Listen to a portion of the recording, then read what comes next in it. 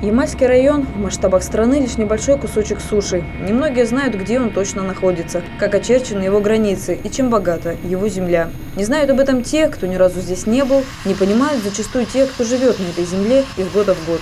Край снегов и туманов, уникальных явлений и исключительных людей. Признаюсь, и мы, журналисты, несмотря на частые командировки, были во всех поселках нашего района, многое видели, но до конца не осознавали всю мощь и масштаб, ставший для нас домом территории. Волей случая мне удалось принять участие в одной очень интересной поездке, которая с ног на голову перевернула все мое представление о нашем муниципальном образовании. Глава района Андрей Кугаевский пригласил нашу съемочную группу и несколько ведущих специалистов администрации в единственную в своем роде поездку, которая позволила увидеть обе стороны нашего полуострова – технологическую и традиционную. Об этом путешествии в ближайшие несколько минут. Весь план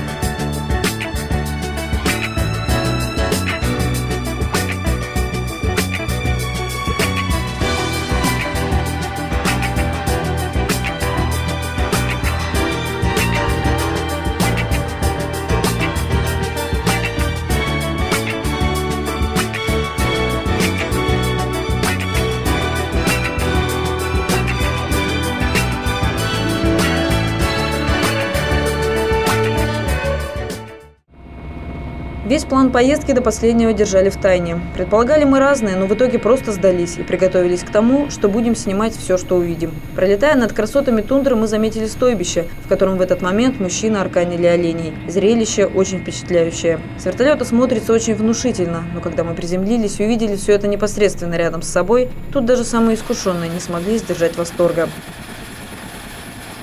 Оленеводы деловито продолжали заниматься своими текущими делами, а мы силились понять, где же мы находимся. Когда узнали, что это за точка, были, мягко говоря, изумлены.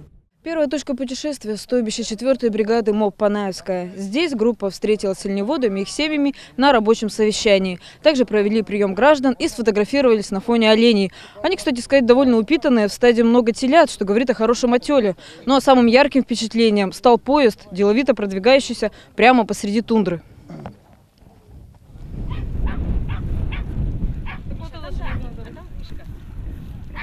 Только когда мы увидели поезд, мы поняли, что железная дорога совсем рядом. До этого рельсы совершенно не были различимы. Честно говоря, вид того, как поезд продвигается по тундре, стал для многих исключительным. Это уже потом мы узнали, что находимся в пяти минутах лета до разъезда Хралов, нашей следующей точки путешествия. Но об этом позже. А пока мы общались с людьми и встретили, кстати, несколько очень интересных героев. К примеру, Кернер Томпсон. Этот турист прибыл из Дании. На Ямале он уже далеко не в первый раз. Тянет его сюда каждый год, как магнитом. Среди местных у него уже немало друзей и знакомых. Самое интересное, что именно до этого стойбища он добирался вдоль железной дороги на велосипеде. Я так понимаю, вы не первый раз? Нет, я раньше был. А тоже. что вас сюда тянет? Ну, просто так природа и народ тоже интересно для меня смотреть, как люди живут так на, на тундре. А знакомые у вас тут есть уже, вот, с кем вы общаетесь, когда приезжаете? Ну, некоторые есть так, но в основном ну, это у меня знакомые там в, треть, в третьем бригаде, там, угу. но они сейчас далеко стоят. Много интересного нам рассказал Олег Лаптандер, гость из Приуралья. Он со своей семьей в данный момент кочует по Ямальской земле. Занимается тем, что собирает по стойбищам панты. По его словам, заработок неплохой, на жизнь хватает. Панты в районах отличаются, в Ямальском, говорит, гораздо крупнее. Да и вообще, в сравнении, ямальские олени крепче. Летом все нормально. Ну, тут нормально. У нас там в горах медведи ходят. Медведи их задирают. У нас вот весной случай был, там вообще в одну оленевода там голов 20 что ли разорвал, один, один медведь. Потом орлы прилетают, телят поднимают и уносят. По его словам, прошлогодние трагические события отразились и на Приуральском поголовье. Потери у них очень серьезные, потому много семей оказалось в тяжелом положении. По сравнению с тем годом, да, очень мало людей, которые ездят на оленях, вот частников. Они все остались там сзади уже. И они отдали оленей, допустим, своим родственникам. Вот. Сами кослать не могут, уже поголовье намного меньше. Вот. Особенно при Уральском районе там, там очень много людей, этот оленей умерло. И люди там остались, они не могут кослать, потому что у них быков не хватает, чтобы чем перевести.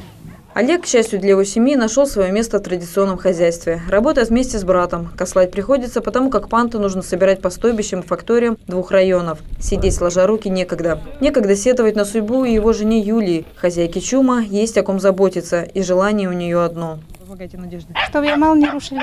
Вот и все. Чтобы как на Украине не было. А что еще? Мирное небо над головой. Чтобы дети были здоровы. О своих детях переживают тундровички, чтобы были здоровы, чтобы хорошо учились и были достойными людьми. Со всеми остальными вопросами сразу отправляют к мужьям. Хозяйственные дела – это уже их стихия. Они знают, каково состояние поголовья, куда дальше кослать и как долго оставаться на месте стоянки. Работы хватает и зачастую на получение информации просто нет времени. Хорошо, когда приезжают гости. От них можно узнать, что происходит в политической, экономической и социальной жизни региона и района. Так, благодаря рабочей встрече, оленеводы узнали много полезной информации о предстоящих выборах, сельхозпереписи и новых финансовых льготах для кочевников. По традиции все выступления большинство записывали на телефоны и фотоаппараты, чтобы посмотреть потом и показать другим. Так и передается информация по тундре. Вот он, прогресс во всем своем жизненно необходимом проявлении. У нас же время нету так уж. Все время ездим, все же надо, дрова и рыбу, за рыбой, за оленем куда-нибудь ехать, другое стадо.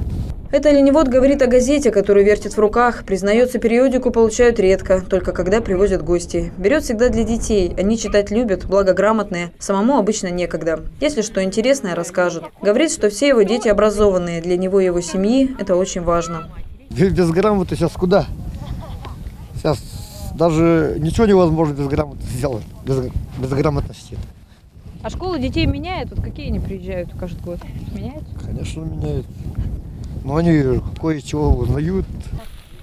Кто из нас, северян, ни разу не фотографировался с оленями? Уж на дне оленевода, наверное, каждый воспользовался такой возможностью. Но это на празднике. А представьте, каково это вот так, прямо в тундре, погладить животное, потрогать его удивительные рога, прикоснуться к главному обитателю полуострова. Без этого животного жизнь северянина не была бы сытной, уютной и теплой. Это истинные кормильцы, кроткие и спокойные хозяева тундры. В прошлом году им пришлось очень тяжело, но благодаря помощи людей, которые объединились перед лицом общей для всех беды, поголовье выжило и будет жить и впредь. Большую помощь оказали компании ТЭКа, очередной раз доказав, что готовы в любой ситуации поддержать своих партнеров. Руководство района экстренно приняло судьбоносное решение и вмешалось в ситуацию своевременно и эффективно. Оленеводы изо всех сил спасали тех, кого еще можно было спасти, и теперь эти события можно считать уже трагическим прошлым. Вспоминать об этом будут еще долго, но живут в тундре сегодня, а потому забота о подрастающем поколении сейчас в приоритете.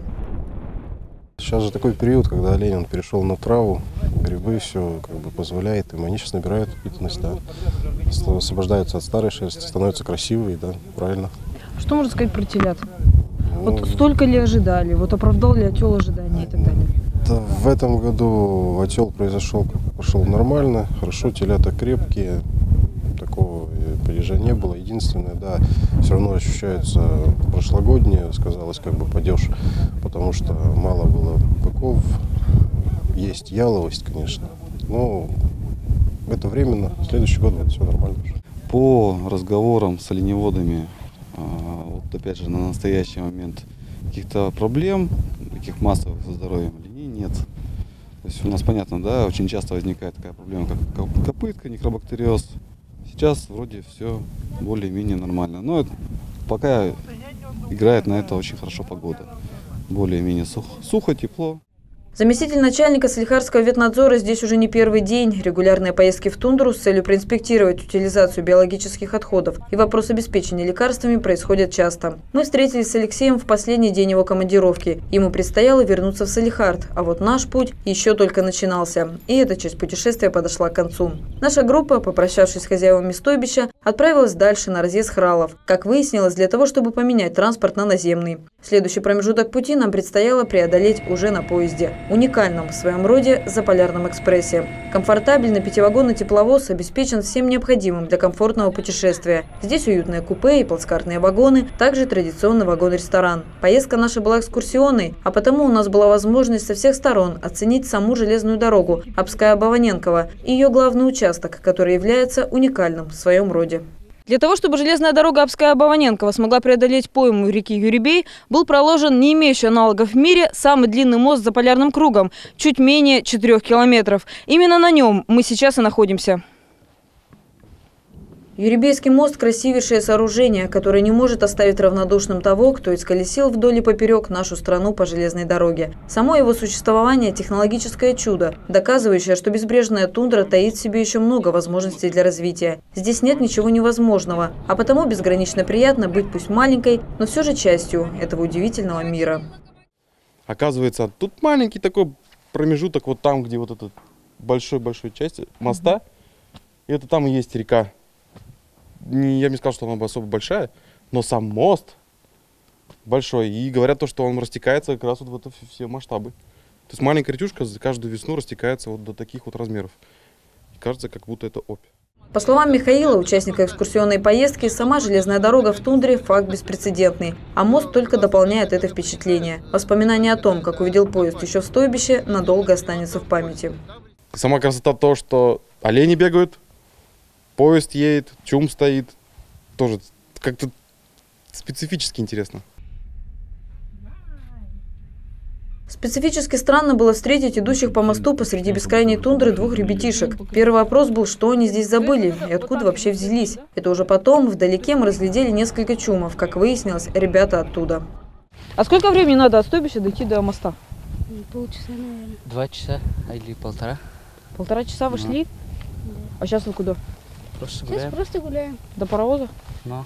Потому как вся программа путешествия была расписана буквально поминутно, мы тоже были вынуждены вернуться к поезду, где немного отдохнув, мы отправились дальше. На этом, правда, наши приключения не закончились. Руководители железнодорожного состава сделали нам поистине ошеломительный подарок – возможность проехать по мосту еще раз, причем снаружи. Сказать, что захватывало дух, это не сказать вообще ничего. Ближе к вечеру нам выдалась уникальная возможность проехать по Юрибейскому мосту прямо на палубе тепловоза. Страшно? Да, но нас надежно охраняют.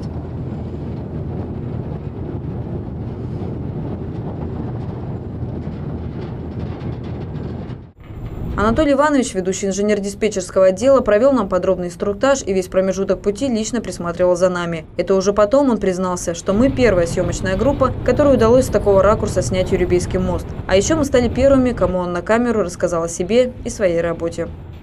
На этой территории я работаю с 1 февраля 2010 года. Всего лишь. Но до этого я, как говорится, начинал стройку в 86 году, потом перешел на РЖД, работал в движении, начальником станции, дежурным по станции, многие профессии занимал. Ну и перешел обратно обслуживать эту дорогу, которую начинал строить. О железной дороге, по которой мы двигались, Анатолий Иванович знает все. Регулярно по ней идут поезда на Баваненково и обратно, перевозя людей и грузы. А Юрибейский мост – ее главная изюминка. Уникальность его в том, что это единственный мост в мире, который построен на вечной мерзлоте, построен в суровых условиях, климатических суровых условиях за очень короткий период времени, можно так сказать. Его построили буквально за несколько месяцев. И сваи, сваи закопаны до 20 метров глубиной. Там своя уникальное приспособление, чтобы не оттаивал груз. Специальные термостаты стоят. Честно говоря, как они точно называются, не знаю. Но система очень уникальная. И благодаря нашим инженерам, которые создали этот проект, этот мост будет долго-долго существовать и служить на благо нашей Родины. В таком суровом месте, как Ямал, сделать такое великое дело – сколько стоило это трудов, усилий, сколько людей положено вот как бы в это все дело. И она дошла до пункта, и это будет, это не конец. Мы еще будем продолжать. У нас еще великая стройка, это железная дорога Баваненкова-Сабета. И надеюсь, когда-нибудь мы также комфортабельно проедем и посмотрим наши края. Приключения первого дня пути на этом для нас закончились. Мы отправились спать, чтобы следующим утром продолжить наше четырехдневное путешествие. Ранним утром, быстро собравшись и позавтракав, мы вышли из поезда и погрузились в автобус, который повез нас на Баваненково. Это пока конечная точка железной дороги, хотя вопрос о прокладывании отдельной ветки до Сабеты двигается активно в сторону решения. Нас гостеприимно встретили и сразу провели подробнейшую экскурсию по главным объектам одного из трех крупнейших газовых месторождений в России. Первым делом мы посетили куст газовых скважин номер 51. Начальник участка провел инструктаж по технике безопасности, а потом подробно рассказал о своем объекте. Значит, мы сейчас находимся на данный момент на кусту газовых скважин номер 51, где непосредственно добывается газ у нас. Откуда идут с пластов э, газ в технологические нитки. Таких скважин на месторождении всего 96. В дальнейшем планируется увеличить это количество до 180. Второй по важности объект, который нам показали, была установка комплексной подготовки скважин. Представляет собой своеобразную паутину из металлических труб, которые пролегают по всей территории и на несколько метров поднимаются вверх. Чтобы понять всю суть технологии, нужно как минимум несколько лет отучиться в нефтегазовом институте, а потому многое из того, что нам рассказывали, для меня осталось недопонятой информацией. В любом случае, одно было предельно ясно. Этому технически совершенно совершенному объекту газодобычи нет равных, и перспективность проекта ясно просматривается на долгие годы вперед. Цифрами сотрудники Баваненковского месторождения гордятся и готовы рассказывать об этом часами. Мы же воспринимали эту экскурсию скорее как возможность увидеть своими глазами пятый по величине и перспективности газоносный объект в мире, который позволяет нашей стране, высоко подняв голову, идти в ногу с передовыми в области добычи углеводородов государствами. И не только увидеть, но и с позволения прикоснуться и, конечно, сфотографироваться. Контроль объектов ведется непосредственно из полностью полностью компьютеризированного пункта управления, который нам тоже удалось посетить. Здесь нам показали информационно-презентационный ролик, из которого мы узнали о пути газа из скважины к потребителям. Дальше экскурсия продолжилась посещением других важных объектов.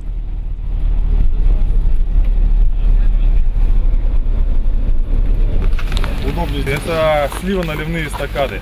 Вот там дальше, где у нас работают подрядчики, 22 позиция, это эстакада нижнего слива дизельного топлива, авиационного керосина и бензина. Эм, подходят цистерны, там 6 стояков, э, по 6 стояков на дизельное топливо, на авиационный керосин и один стояк на бензин. Дело в чем объясняю такое, что мы бензин не храним на складе. У нас бензин приходит по ЖД, и мы сразу же его отправляем, приходят заказчики, и мы сразу же его отправляем через автоналивную, заливаем в автоцистерны и отправляем уже дальше потребителям. Несмотря на насыщенную экскурсионную программу, для Андрея Кугаевского было принципиально важно посетить с инспекционным визитом и жизненно важные точки на карте полуострова. И потому на пути следования к очередному масштабному технопроекту современности группа посетила соседствующую с ним факторию Тамбей.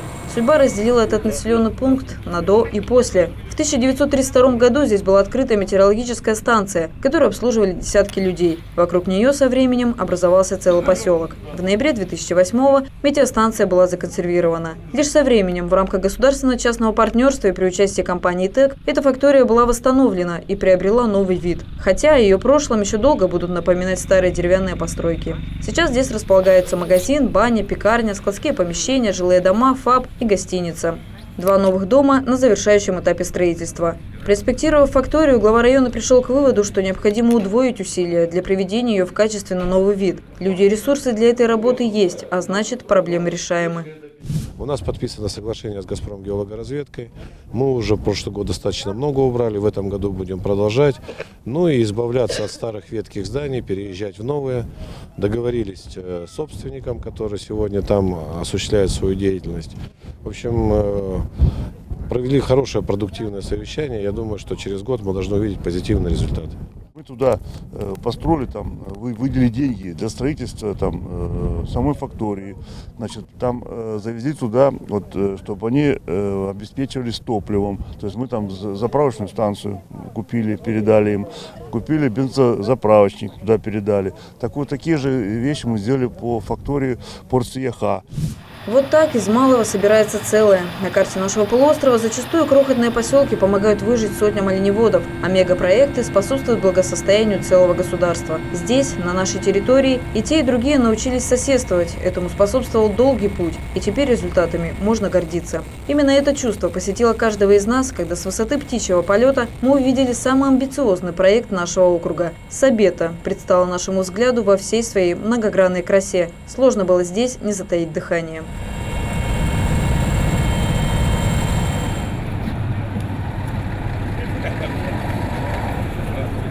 Встретили, что говорится, с распостертыми объятиями. Вообще, представители предприятий ТЭКа встречать гостей умеют, это факт. На массу глупых и не очень вопросов всегда терпеливо отвечают. Говорить о своей работе умеют и увлекают энтузиазмом, всех без исключения. Так, не дав нам толком даже опомниться, нас тут же погрузили в вахтовку и повезли осматривать достопримечательности. А посмотреть уж, поверьте, было на что.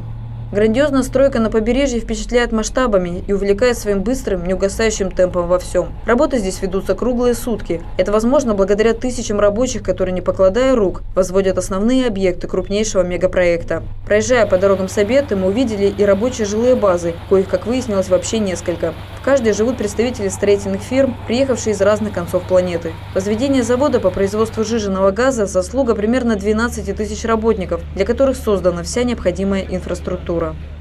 Когда сегодня смотришь, как все происходит здесь, как все стройно, как все слажено, как работает вот такая большая территория, а все работает как единый механизм. Каждый маленький винтик в нем. Посмотрите, мы не увидели никого праздно болтающихся. Все люди куда-то идут, у каждого есть своя цель. Никто, никого ничего не спрашивает. Все идут по направлениям, все работает как машина. Просто поражает. Для обеспечения строителей всем необходимым материалом был специально обустроен морской порт, открывший собой Северный морской путь. Этот объект позволил проложить новую жизненную артерию к месторождению и отказаться от прежних способов доставки грузов. Что сегодня Ямал-СПГ зимники вообще не строят. Мы ушли от этого вопроса. Для того, чтобы как бы, меньше носить э, природе, экологии э, вот, вреда. Первые грузовые суда пришвартовались к причалу порта Сабета в октябре 2013 года. На сегодня порт принимает, все четыре причала порта принимают суда из разных государств. Вот, например, в данный момент вы видите финское судно, которое пришвартовалось совсем недавно. Вообще в планах у порта Сабета принять за текущий год около трех миллионов тонн грузов.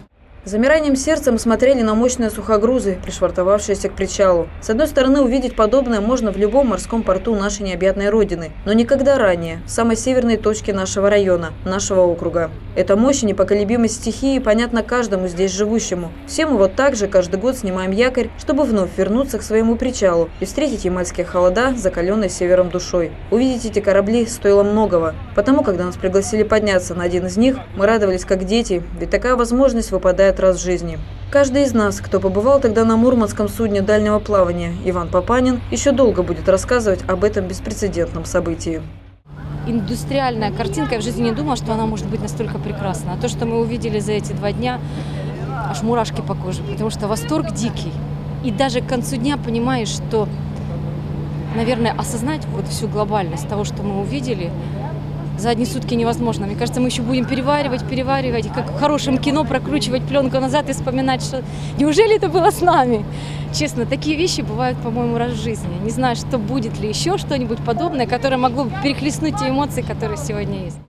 Мы долго гуляли по кораблю, спрашивали, расспрашивали. Все без исключения члены команды готовы были пояснить нам все, что нас интересовало. Ну а самым гостеприимным, по традиции, конечно, был капитан судна. Он с удовольствием показал нам внутреннюю часть корабля, конечно, капитанский мостик, где сфотографировался со всеми желающими. Ну, в Сабете мы с, э, так, с 20 числа ну, на рейде немножко постояли. Ну, в принципе, Сейчас идет процесс погрузки-выгрузки. А Вам... вы первый раз Нет, не первый раз. В прошлом году первый раз пришел. Ну, пришли, судно пришло. А что вы возите? Ну, возим в основном генеральный груз. Э, ну, всевозможные там. Ну, генеральный груз это плиты, домики, техника. Вот скажите, пожалуйста, сколько нужно человек, чтобы вести работу на таком огромном судне? 24 человека экипаж. Вот так судно размером с огромный жилой дом обслуживает всего 24 человека. Сложно определиться с высотой корабля. Одно могу сказать, что на верхнюю палубу мы поднимались, преодолев 5 этажей. Тяжеловато. Помещение достаточно тесное, но результат стоил того. В самой верхней точке корабля нашему взору предстал такой вид, ради которого вообще стоило отправиться в это путешествие. Именно здесь, на самой верхней площадке судна, Андрей Николаевич в интервью рассказал нам о том, для чего он пригласил всех нас в эту поездку. Для того, чтобы люди, которые находятся в управлении этой территорией муниципального образования, очень четко представляли ее границы, ее масштабы, ее значимость, ответственность э, тех людей, которые здесь живут и работают. Я имею в виду межселенную территорию, ну, э, косвенно как-то и тех, кто сюда вахтой прилетает. Поэтому э, вот главная цель это. Скажите, а вас, наверное, уже сложно чем-то удивить? Вы, наверное, вот все вот это уже видели неоднократно. Ну, периодически, конечно же, мы прилетаем сюда с различными и на совещания производственные, и просто для того, чтобы э, для э, подписания соглашений, заключения новых э, с компанией МАЛ СПГ. Вы знаете, что проект сегодня успешно реализуется не только на Собете, но и параллельно заканчивается строительство в поселке Сейха, жилья, энергоцентра, водоподготовки, социальных объектов, детского сада и интерната. Э, сегодня мы еще с вами все посмотрим, так скажем, проинспектируем. Вот. Ну, я думаю, что э, здесь нужно бывать, чтобы понимать, что происходит на территории муниципального образования, как можно чаще. Покинув судно дальнего плавания Иван Папанин, мы думали, что вряд ли что-то сможет нас удивить так же сильно. Тогда мы не знали, как ошибались. Организаторы экскурсии приберегли еще несколько сюрпризов, которые нам предстояло увидеть. Самым масштабным из них стали резервуары первой очереди завода СПГ, внутри одного из которых нам удалось побывать. Сказать, что ощущаешь внутри него себя песчинкой, это ничего не сказать. Изнутри этот объект представляет собой огромный купол, чем-то напоминающий гигантскую обсерваторию. Причем снаружи резервуар кажется гораздо меньше, чем внутри. В этом обмане зрения его главная для посетителей особенность. Эти резервуары предназначены для хранения газоконденсата, так как мы находимся на Южно-Тамбейском газоконденсатном месторождении. Значит, э, всего будет построен завод СПГ. Э, здесь будет 4 резервуара емкостью по 160 тысяч кубических метров. Значит, на данный момент э, возведены два резервуара, третий резервуар находится в стадии поднятия. Четвертый резервуар готовится то же самое. Этот резервуар недавно был э, опробован на э, вакуумное закрытие и была залита крыша. Точно так же будет и с остальными резервуарами. Высота резервуара 54, диаметр 74 метра. И все это просто цифры, пока не представишь себе 18-этажный жилой дом. Именно такой высоты здания представляет собой увиденное нами сооружение. Ширина стены резервуара 80 сантиметров. Удивительно, но такой масштабный объект возводится в кратчайшие сроки. Уже к 2017 году сдать э, первую очередь, первый резервуар. Так, по заливке э, первого-второго резервуара, это было в прошлом году, сентябрь-октябрь, э, на протяжении 22-23 дней происходит поднятие резервуара.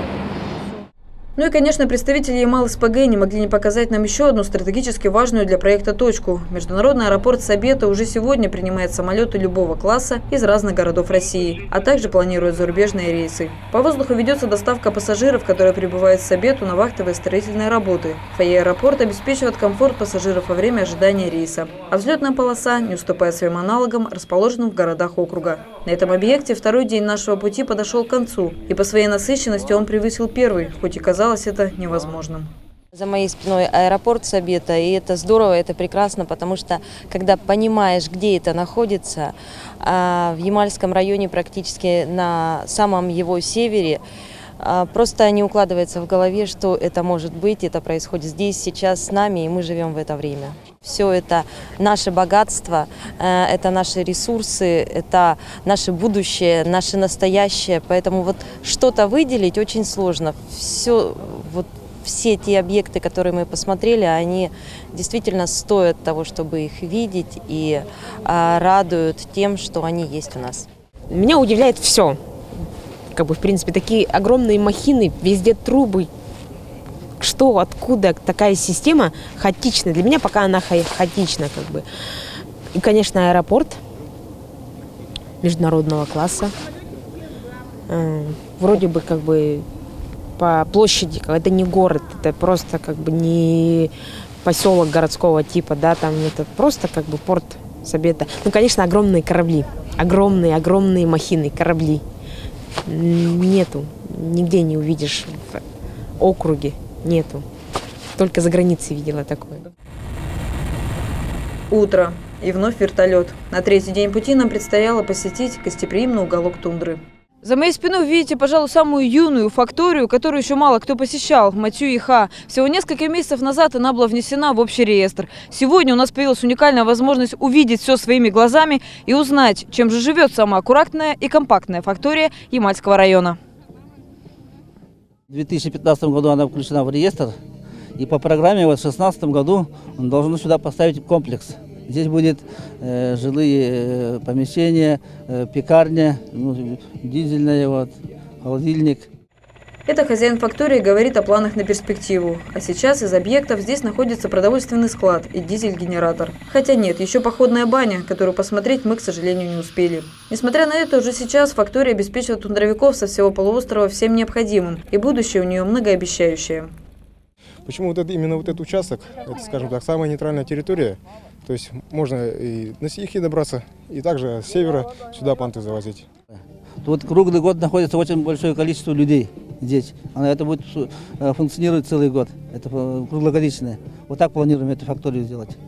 День коренных народов мира здесь празднуется особенно массово. В день нашего приезда на праздник со всех краев тундры стекались аргиши, упряжкам не было числа. Оленеводы со своими семьями съехались со всего полуострова. Особенно много упряжек пришли с самой северной точки Яхады, а также с района Баваненкова и Харасавея. Скромные красивые тундровички вели за руки своих непоседливых малышей, а крепкие мужчины деловито проводили мимо свои упряжки. По словам тундровиков, такие праздники делают жизнь ярче и интереснее. Работы у оленевода хватает, и отвлечься от тяжелых будней всегда приятно, тем более, когда когда есть возможность показать свою удаль в соревнованиях. Ну и, конечно, это лишний повод встретиться со своими друзьями и близкими, чтобы лично пожелать добра. Во-первых, этот праздник родился, там, проведение этого праздника именно на Матюяхе благодаря индивидуальному предпринимателю Вануиту Леониду Сумдировичу. Это его детище. И он рад, что это понравилось населению.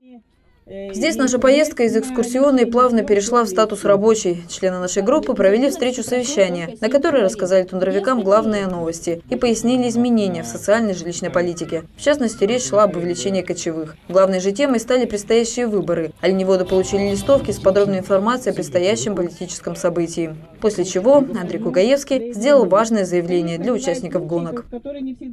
Количество участников заявилось больше ста. Поэтому мы меняем снегоход обыкновенный Буран на снегоход Ямаху. Да. После совещания специально приглашенные артисты из Сихи устроили замечательный концерт. Публика оказалась более чем благодарная. Выступать перед оленеводами особенно приятно, поделились впечатлениями после концерта девушки. На фактории Матюиха всегда очень теплый прием и особенно душевная обстановка. Ее посещение стало очередным ярким впечатлением, о котором еще долго захочется вспоминать. Люди на севере полуострова особенные, вниманием не избалованные, открытые и радушные. Здесь было хорошо всем без исключения, и в этом читалась особая ямальская душа.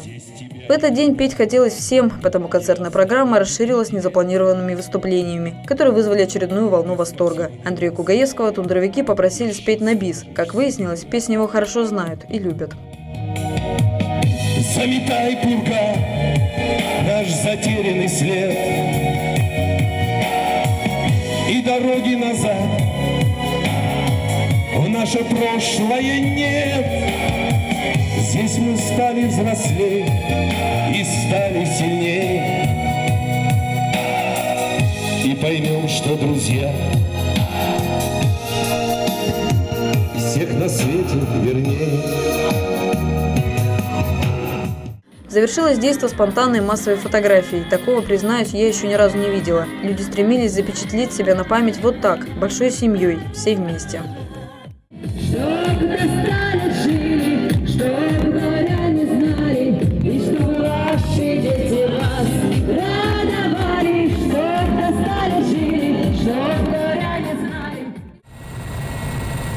Третий день нашего путешествия продолжился в самом северном поселке нашего района. К вечеру нас встречала Сейха. Несмотря на то, что делегация прилетела в поселок в выходной день, на его улицах кипели строительные работы. Первым делом специалисты районной администрации организовали прием граждан по личным вопросам. Несмотря на позднее время, жители поселка все же пришли. Сейхинцам стоит отдать должное. Главе обращались в основном с теми вопросами, которые на месте решить не удалось. По проблемам, касающимся полномочий поселкового руководства, у районной власти консультироваться не стали.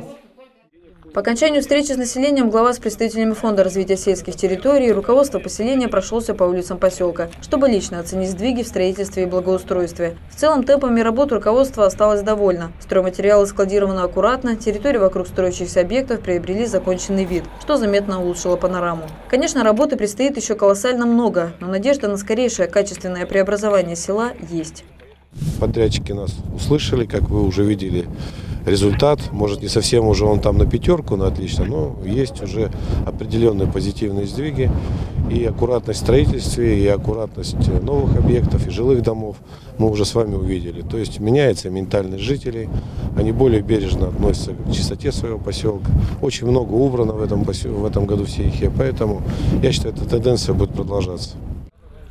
Обязательства, которые взял на себя Фонд развития сельских территорий, как видно, выполняются. И, вероятно, уже к концу этого года большая часть объектов будет сдана в эксплуатацию. Этот поселок призван показать в дальнейшем, как реализуются перспективные социальные проекты в нашем районе. На его примере сотрудничество и партнерство ТЭКа и муниципалитета должно сработать в качественном преобразовании. Здесь видится реализация новых амбициозных планов, и преобразования уже более чем ощутимы. То есть мы сегодня, конечно, хороший сделали рывок по жилью программе, которая на средства Ямала СПГ и Новотека была реализована в Сейхе, но еще остаются вопросы. То есть мы не останавливаемся на достигнутом и максимально э, старались граждан убедить, что строительство жилья будет продолжаться, а веткое жилье будет ликвидировано. Последний день путешествия завершился посещением Мерсалинской тундры. Здесь специалисты также встретились с оленеводами и их семьями, рассказали о преобразованиях в районе и переменах в социально-экономической сфере. Встреча прошла на следующий день после проведения основного празднования Дня коренных народов, а потому приятной миссией стало награждение победителей соревнований по национальным видам спорта. Среди участников взрослые спортсмены и дети, что особенно значимо. Передать традиции подрастающему поколению крайне важно, ведь для них история только начинается. Им предстоит продолжить дело, начатое предками. Для них сегодня делается все возможное, чтобы сохранить оленеводство в первозданном укладе тундровой жизни. Те специалисты, которые со мной вылетели на работу, конечно, они большой блок осветили, э, так скажем, по социальной защите, по образованию, по реализации жилищной политики. Э, вопросы здравоохранения были подняты. Поэтому все то, что сегодня интересует тундровиков, кочующее население, мы максимально старались разъяснить и даже помогали в оформлении каких-то документов. Кто-то заявление оформлял. Э, много дано было очень информации, даже в печатном материале времени мало. Поэтому я считаю, что эти встречи полезны как для специалистов администрации, так и для людей, которые проживают в тундре. Иерусалимская тундра завершила четырехдневную поездку по самым важным стратегическим и хозяйственным объектам района. Впереди у специалистов большая работа – вынести из этой командировки максимум пользы для себя и для всех ямальцев. Это очень важно. Главное, что у каждого, кто участвовал в этой поездке, сохранилось понимание того, что Ямальский район – это не только географическая точка на карте России. Наша многогранная территория вмещает в себя самое важное – уникальных людей, героев своего времени, которые в суровых климатических условиях изо дня в день пишут свою особую историю.